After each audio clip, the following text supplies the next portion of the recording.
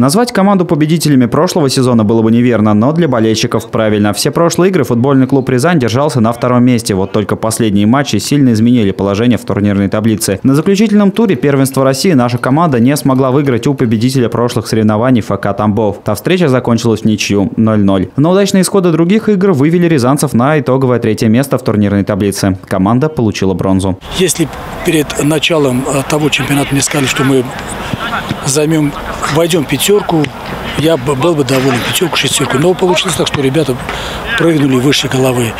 В тех э, условиях э, и они подготовились и сыграли. Назвать это чудом нельзя. Последние несколько сезонов рязанцы завоевывали медали. И сейчас настрой только на победу. По словам главного тренера Гарника Валяна, с командой есть несколько сложностей. Например, контракт с игроками заключается всего на год, поэтому не всегда один и тот же состав сохраняется из года в год. Например, по окончанию сезона из ФК «Рязань» ушло 5 футболистов. С другой стороны, в команду постоянно продолжается набор не только из клубов города, но и области. Поэтому на каждого покинувшего клуб человека всегда найдется кто-то новый. Однако молодым членам команды приходится раскрывать свой потенциал потенциал по ходу сезона. Один из новичков этого года, Никита Кузьков, говорит, что большое влияние на него оказал прошедший чемпионат мира по футболу. Показали достойную игру, характер, привлекли, думаю, народ на стадионе. Сейчас будет больше народ заниматься футболом. Хочется, чтобы они также продолжали дальше играть.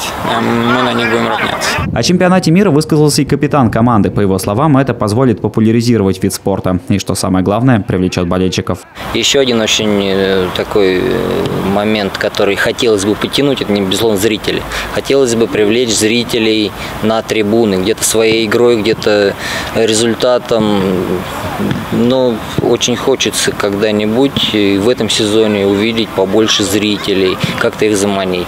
18 июля прошла первая игра команды. На родном стадионе команда Рязани сыграла с ФК «Ротор Волгоград-2». На 31-й минуте рязанцы получили пенальти, которые удалось реализовать противникам. Итоговый счет 0-1. Сейчас на тренировке налегает все больше. Команда готовится к игре в Москве с клубом «Зорки» из города Красногорск. Наш футбольный клуб играет во второй лиге ПФЛ. В случае победы в турнире команда попадет в футбольную национальную лигу. Остается пожелать ребятам удачи и надеяться, что себя они еще проявят. Валерий Седов, Игорь Глотов, телекомпания «Город».